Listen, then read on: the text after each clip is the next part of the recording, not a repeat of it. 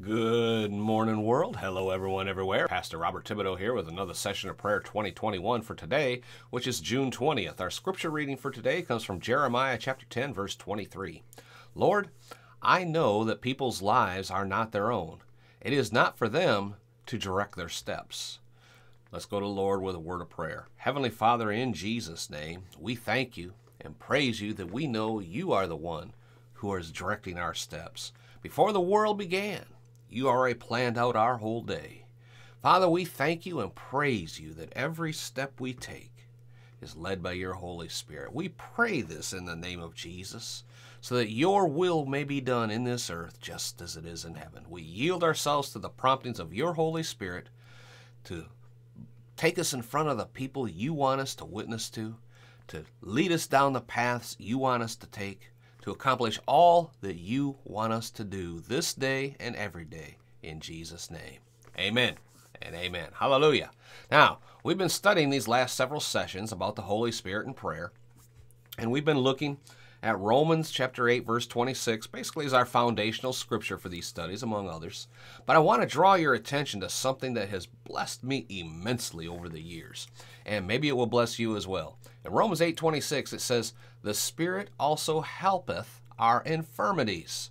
Now, what the heck does that mean? Well, I decided to ask the Lord and find out. Amen. And the Greek word that I studied out, I am not a Greek scholar. I am not going to try and pronounce these words and, and, pretend that I'm saying them right.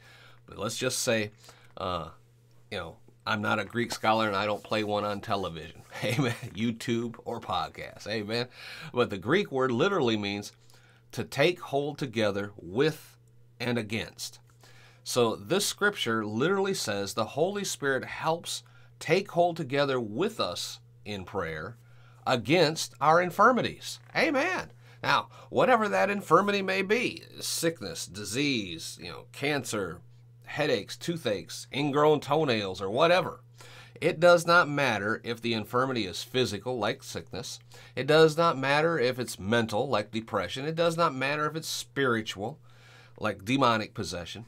The Holy Spirit of the Most High God comes together with your spirit man, takes hold together against that infirmity. Praise God. Don't shout me down when I'm preaching good. You missed a good place to shout amen right there. Glory to God.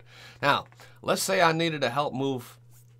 I needed, let's say a couch. Let's say I have to, I need to move a couch out of my basement area downstairs and load it onto a truck.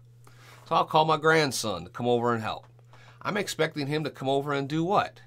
Take hold with me on that couch, help me overcome the weight of that thing, and get it up the stairs and out of the house. Amen? Well, if you have any infirmity and ask the Holy Spirit to help, He will do the same thing. He will come along with you and help you to get that infirmity out of your house, your spiritual house, which is your body, which is called what? The temple of the Holy Spirit, right? Who dwells within you. Praise God. I pray you're getting this. Glory to God. I want to pray with you right now that you will invite the Holy Spirit into your life. If you have not done so already, you're missing.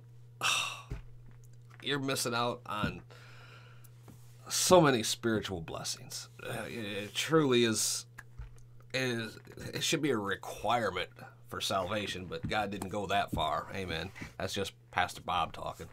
But I want to pray that the Holy Spirit will help you to identify those infirmities that have been plaguing you and that you and He will work together, overcome, and cast out those infirmities out of your life forever.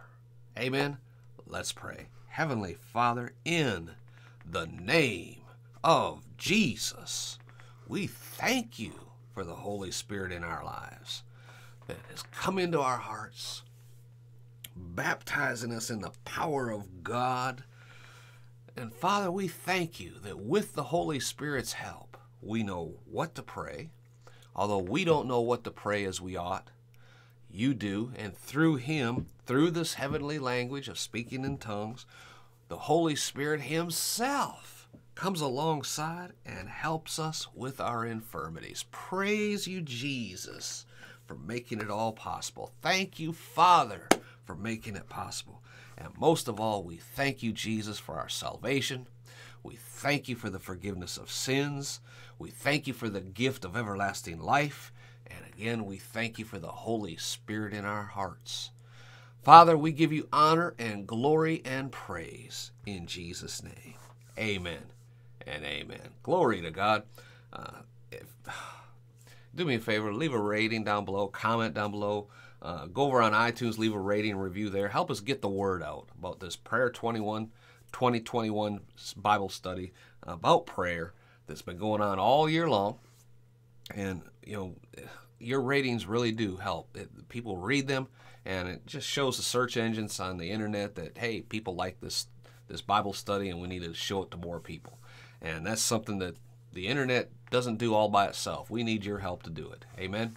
And be sure to visit our website, podcastforchrist.com, if you have or are thinking of starting your own Christian podcast, because there's free resources right there. And that's what we're all about, is getting the word out. Amen. So until next time, it's Pastor Bob reminding you again from 1 Thessalonians chapter 5, verse 17 in the Living Bible to always keep on praying. Be blessed, folks. Talk to you tomorrow.